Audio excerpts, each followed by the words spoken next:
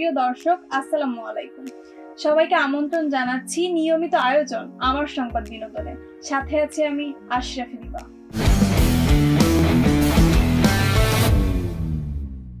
শাকিব খান এবং অপু বিশ্বাসের বিচ্ছেদ হয়েছে তিন বছরের বেশি হয়ে গেছে।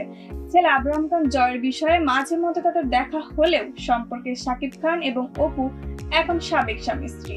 তবে এবার স্বামীর নামের জায়গায় শাকিব খানের নাম লিখে বিপাকে পড়েছেন ঢালির কুইন অপু বিশ্বাস। জানা যায় প্রযোজক হিসেবে আত্মপ্রকাশ করতে যাচ্ছেন চিত্রনায়িকা অপু বিশ্বাস। সেই কারণে প্রযোজক সমিতির সদস্যপদ পেতে আবেদনপত্রে তার স্বামীর নামের জায়গায় শাকিব খানের নাম লিখেছেন। বিষয়টিতে অবাক হয়েছেন সংগঠনের কার্যনির্বাহী সদস্যরা।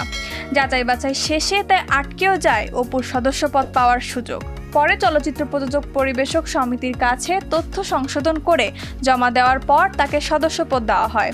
অপু বিশ্বাস তার ও তার সন্তান আব্রাহাম খান জয়ের নামের সঙ্গে মিল রেখে প্রযোজনা প্রতিষ্ঠান চালু করেছেন। অপু জয় প্রোডাকশন হাউস নামে নতুন এই প্রতিষ্ঠানের ব্যানারে অভিমান নামে একটি সিনেমার নামও নিবন্ধন করেছেন। সিনেমাটি সরকারি অনুদানের জন্য জমা দিতে চান অপু বিশ্বাস এমনটাই চলচ্চিত্র সংশ্লিষ্ট ব্যক্তিদের কাছ থেকে জানা গেছে। চলচ্চিত্র সংশ্লিষ্ট ব্যক্তিবর্গ মনে করছেন, এক লাখ তিন হাজার টাকার বদলে এগারো হাজার টাকায় সদস্য পদের বিশেষ সুবিধা পেতেই এমনটি করেছেন অপু বিশ্বাস গেল বছর করোনা ভাইরাসের মতো মহামারী থেকে শুরু করে নানান রকম অদ্ভুত অদ্ভুত ঘটনার সাক্ষী হয়েছে গোটা পৃথিবী। বলিউড পাড়াতেও এর ব্যতিক্রম হয়নি। বছর জুড়ে বেজেছে বিষের বিষাদের সুর। তবে শুরুটা যেমনই হোক, বছরের শেষটা ভালো হবে বলেই আশা করেছিল সবাই। কিন্তু বছরের শেষে অনুরাগীদের হতাশ করেছে বলিউড অভিনেত্রী দীপিকা পাদুকন।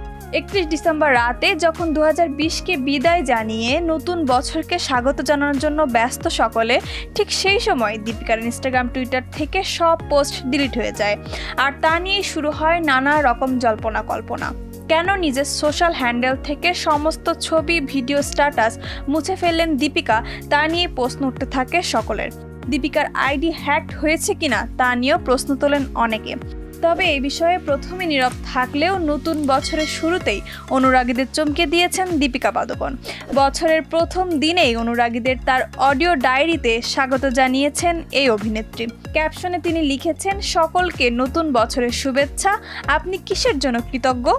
এছাড়াও অডিও বার্তায় দীপিকা ভক্ত অনুরাগীদের বলেন, আমি জানি আপনারা সকলেই আমার সঙ্গে সহমত হবেন যে দু হাজার বিশ বছরটা ভীষণভাবে অনিশ্চয়তার একটা বছর। তবে তার সঙ্গে এটা আমার কাছে কৃতজ্ঞতা ও অস্তিত্বের একটা বিষয়ও বটে। দু একুশে আমার চারপাশের সমস্ত মানুষদের সুস্বাস্থ্য ও মানসিক শান্তি কামনা করছি। অবশেষে দীপিকার এই অডিও বার্তাতেই বোঝা গেল, পুরানো সব স্মৃতিকে বিদায় জানাতেই হয়তোবা আগের সমস্ত পোস্ট মুছে দিয়েছেন তিনি। দর্শক, এই ছিল আজকের আয়োজন। বিনোদন পাতার নতুন নতুন সব আপডেট জানতে আমার সংবাদ চ্যানেলটি সাবস্ক্রাইব করে আমাদের সাথেই থাকুন। ধন্যবাদ।